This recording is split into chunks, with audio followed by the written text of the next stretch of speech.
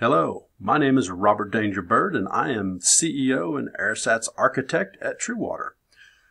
What you are looking at is an additional 2,000 square feet located adjacent our existing network operations center. This will take us to right at 10,000 square feet overall.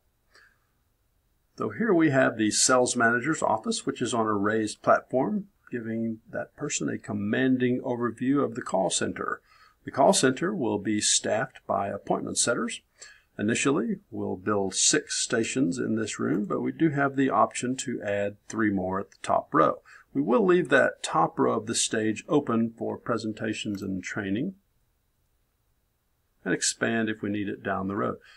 Due to the design, the sales manager will have a nice view of the activity in the room and the view from the stage. So if you want to do presentations or give training,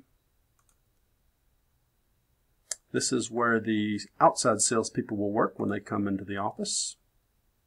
And at this end, we have an additional conference room as well as the virtual chief information officers. Central area was meant to be a very hip, high-tech space. A lot of geometry, a lot of juxtaposition and variation. We'll also be doing some interesting lighting treatments. The ceiling was pushed up six inches above the fur downs and we will be doing a light splash all the way around the room above the fur downs as well as the around the central skylight. So the skylight is actually a digital skylight so there will be a large photo of a perfect sunny day.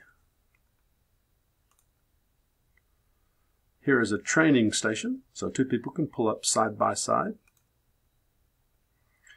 And the central bar is simply a mini conference room. So this is our current design.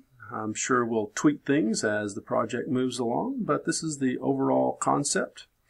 I hope you enjoyed it. Thank you for allowing me to share it with you.